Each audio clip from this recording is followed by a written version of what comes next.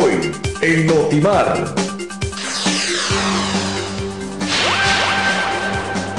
Suspensión de la atención en el área de consulta externa del Hospital Delfina Torres de Concha causa inconvenientes y problemas en los usuarios, sobre todo de aquellos que vienen de diferentes puntos lejanos al Cantón Esmeraldas.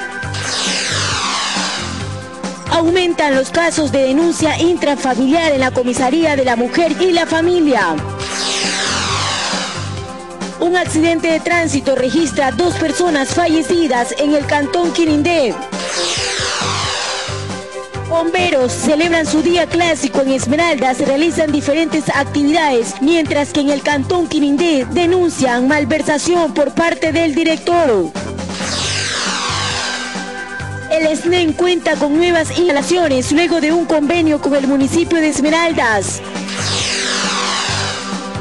A nivel internacional, 25 personas fallecen en Egipto por actos violentos. Aquí empieza su noticiero independiente y objetivo, sin temor ni favor. Líder provincial en noticias. Bienvenidos.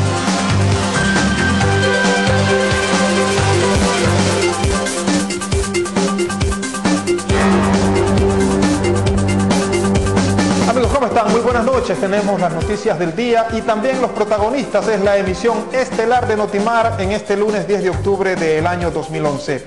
Saludamos en Quirindé con Alexander para las informaciones desde allí. Alexander, ¿cómo estás? Muy buenas noches. Buenas noches, Lenín, amigos televidentes, listos para darles a conocer el desarrollo de las noticias que se han generado en el Cantón Quirindé en este inicio de semana. Gracias. Vamos al detalle porque Telemar es el líder provincial en noticias.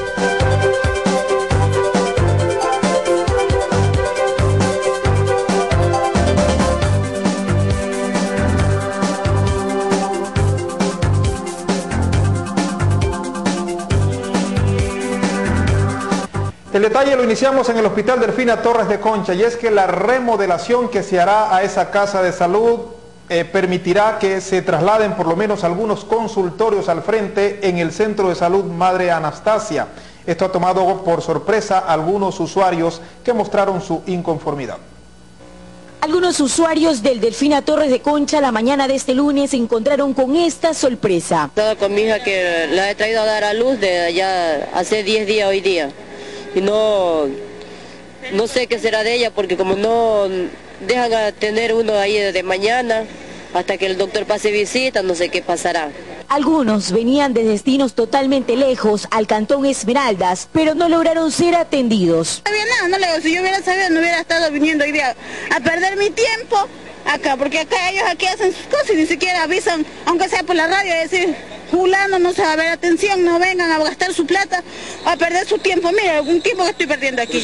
Y es que la mañana de este lunes, autoridades de esta casa de salud habrían puesto de manifiesto esta situación, pero sin embargo la ciudadanía en sí lo desconocía. Ahora yo no sé, no, no informan nada, pues yo no sé dónde mismo tengo que ir a hacer eso, yo mañana tengo consulta con la, la cardióloga. Según los usuarios, asegura que esto se presentan inconvenientes con sus familiares, cuáles son pacientes de este hospital, ya que ellos desconocían las causas del por qué consulta externa no se podría atender. Voy a buscar atención porque tengo una hija que está semi inválida, posiblemente bajé para acá a buscar que llevarla y no puedo entrar porque dicen que a las 10 a uno lo botan y ya yo tengo que llevarla al baño, traerla y pues no me dejan pasar y yo estoy pensando por lo que ella pide auxilio y las dos solamente andamos. Yo soy de San Lorenzo. Extraoficialmente conocemos que el Hospital Delfina Torres de Concha en este momento realiza un proceso de reestructuración en el área de consulta externa, por lo tanto se desconoce cuántos serán los días donde la ciudadanía no logrará ser atendido. A las 5 de la mañana tengo aquí esperando turno y no hay, dice que no van a atender mañana tal vez. Helen Quiñones, Telemar. El Servicio de Erradicación de la Malaria SNEN en Esmeraldas cuenta con nuevas oficinas. Gracias a un convenio que se firmó con el municipio, se construyeron estas oficinas en el sur de la ciudad. El municipio del Cantón Esmeraldas hizo el acto de inauguración y entrega de la nueva edificación de malaria que beneficiará a nuestra provincia. Hasta este lugar llegaron trabajadores y autoridades que pertenecen a esta institución. Así hemos construido el edificio donde va a funcionar malaria del Cantón Esmeraldas siendo que este es un servicio para toda la provincia.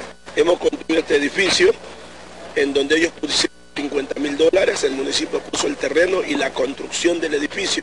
Por más de 40 años esta institución estaba arrendando. En este momento ya cuenta con una casa propia. Nos unimos como resultado un edificio para Malaria. Malaria tiene Esmeraldas aproximadamente 40 años y han dado de arriendo en arriendo. Hoy su propia. Luego de que el SNEG y el municipio del Cantón Esmeraldas en el año 2008 realizaron un convenio para poder realizar este proyecto, ahora esto es una realidad. en el 2008 eh, en esa época yo estaba como director nacional de titular.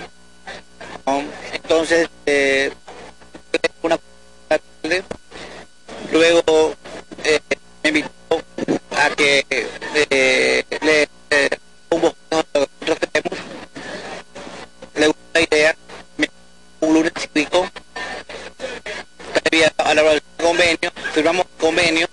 Se espera que inicien ya a elaborar en sus nuevas instalaciones, luego de este acto de inauguración. Esto, es un proceso, esto es un proceso que se lleva a cabo durante un tiempo y llegó el término, porque en realidad de 40 años el Servicio Nacional de Control de la Malaria en esta provincia, en Esmeralda, eh, ha venido alquilando permanentemente, tanto para sus bodegas como para sus oficinas administrativas, con imágenes de Michael Barco para Telemar, Ronald Quijije.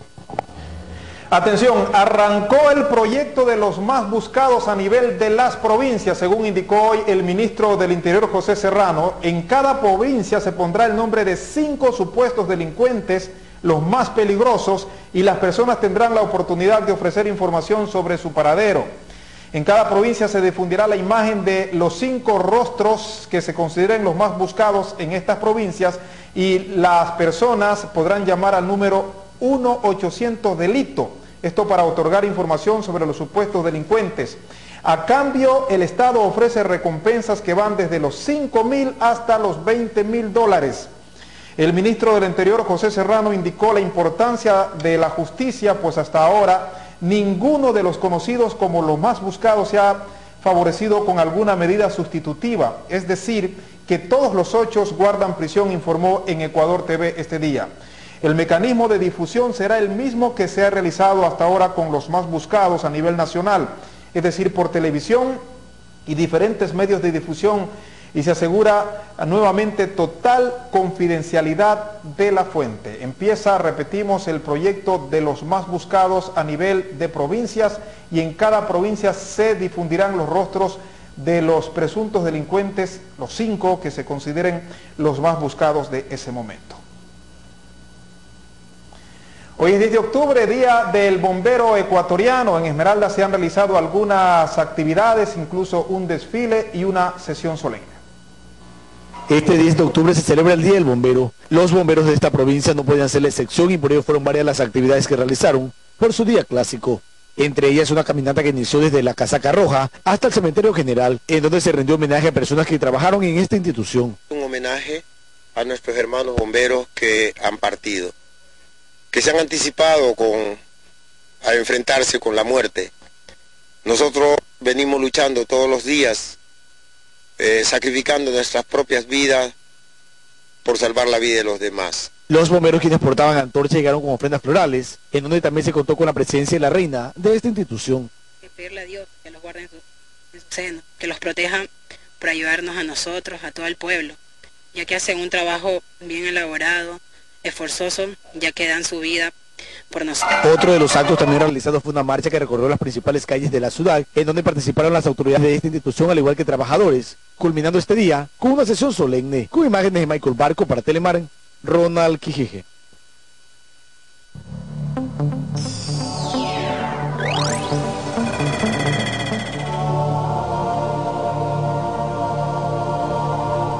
En Quirindé, en cambio, hay algunas quejas en torno al cuerpo de bomberos de esa zona. Alexander, buenas noches y adelante.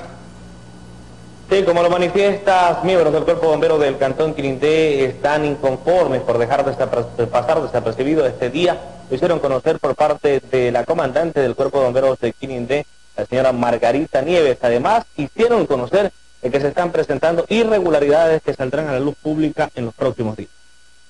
Mientras en otros lugares de la provincia y del país se celebraba el Día del Bombero Ecuatoriano, en Quirindé los miembros de la Casaca Roja hicieron conocer su actitud de rechazo y desconcierto por el trato que se está dando por parte de la comandante de esta unidad bomberil. Aquí estamos, celebrando nuestro día, trabajando, como siempre. No se puede, porque los recursos no alcanzan, entonces no se puede hacer nada aquí en la institución. Señalan que el ambiente acá es tenso y no existe una armonía de trabajo. Además que el Día del Bombero Ecuatoriano ha pasado desapercibido como un día normal. Por último, ni siquiera se hizo la bandera de la institución para que flamee en conmemoración a un año más de vida que cumplen. No existe discrepancia, más bien inconformidad. Porque imagínate hoy nuestro día y pasa por desapercibido. Entonces cuando te acuerdas de que está cumpliendo año uno de los miembros de tu familia, aunque si no hay para una gallina, aunque buenos días o feliz día, ¿verdad? El día de hoy, nada, ni la banderita se ha puesto en la parte de afuera para decir que es el día del bombero. No, no, no hay ninguna disposición Faltó un poco más de preparación, faltó también promocionar más este día, ¿no? Promocionar, eh, no que no pase tan desapercibido el día de hoy. Señalan que la situación administrativa del cuerpo de bomberos de Quinindé está por el piso y que no existe la predisposición de la comandante de dar solución a los múltiples problemas que acá hay. Porque creo que no se ha tomado en cuenta al bombero quinindeño también, como también yo creo que, que no, no se dan cuenta del bombero las, las fuerzas que hace para poder sobrevivir y y festejar aquí en nuestro cantón por un día especial que es hoy. Con mucha razón no lo percibimos como, como una fiesta de bomberos, sino como cualquier otra fiesta que haya pasado. Por acá del Día del Bombero no se sabe nada, pero dejaron sentada su voz de protesta por la falta de liderazgo por la que está pasando la institución bomberil en Quinindé. Con cámaras de Félix Quiñones, Alexander Zambrano Villagómez, Telemar. En otros temas, amigos televidentes, en la parroquia La Unión se presentaron dos muertos y un herido por un accidente de tránsito entre dos motos en la vía El Silencio. La persona quien manejaba una de las motos y se encuentra herido sería el presunto responsable. Manifiestan testigos de que se encontraba en estado de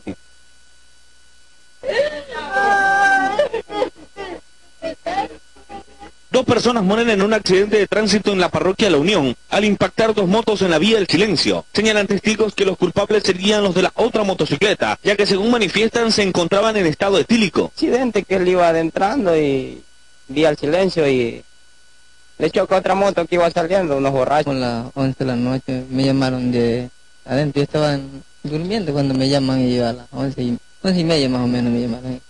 Y yo salí con la moto y me vine día con unos amigos, venimos como unos 8 a 6 motos más o menos venimos. Y ya, y, ya venimos y llegamos acá, la moto y los pedazos que estaban ahí. Pueden comunicarme porque yo vivo separado, él vive por allá, yo vivo por acá, y cuando yo supo que ya me llamaron como la, como la una de la mañana, me llamaron, y ya mi hijo ya tenía un accidente, y ahí yo ya no supe más de Señalan que este accidente ocurrió alrededor de las 10 y 30 de la noche, este último domingo. Las personas fallecidas corresponden a los nombres de Eugenio Segura Mora, de 35 años, quien estaba en la morgue del cementerio de Quirindé, y Harold Mendiolá Zamora, de 40 años de edad.